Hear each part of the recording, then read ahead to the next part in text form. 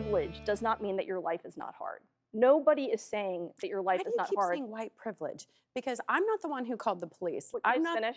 Sure. Go. Um, it means that your life is not hard because of your skin color.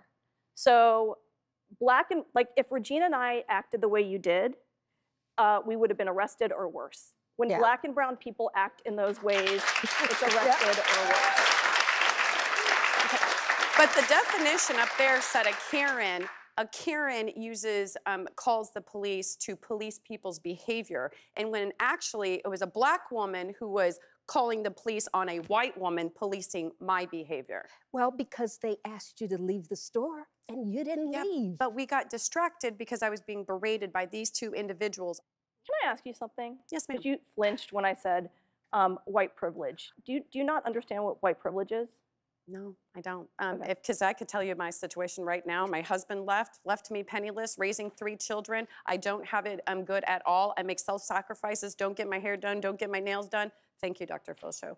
Um, there's all kinds of sacrifices that I make, and I don't use white privilege. What I try to use is communication to communicate with somebody. And if you have a subordinate who cannot answer a question, then I'm going to ask for a manager who can answer it. And there's nothing wrong with that. Here- it should here's not be what I would like to say to you. You know, if if you're born and raised in America, okay, I am a 72 year old black woman, Mhm. and I am moderately biased, according to the Harvard uh, bias thing online, towards white children. And the reason is, I grew up in America. Just there's no way that I can be biased towards white children and not have come out of that sausage factory that we all come out of called public education. This is America. This is who we are. Yeah, and I want to add just so I, I'm not throwing stones at Mm. all. I have non-black privilege. Okay, I don't I don't have white skin and I don't have black skin. I have brown skin. So I have privilege because I'm not black.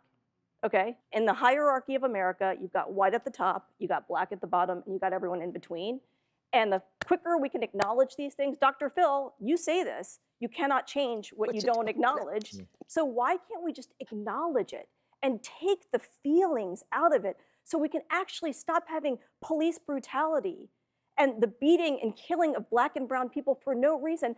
You want the Karen, the, the trend of Karen to be over? You're sick of that. You know what we're sick of? Racism. We're sick of racism. Well, let me tell you.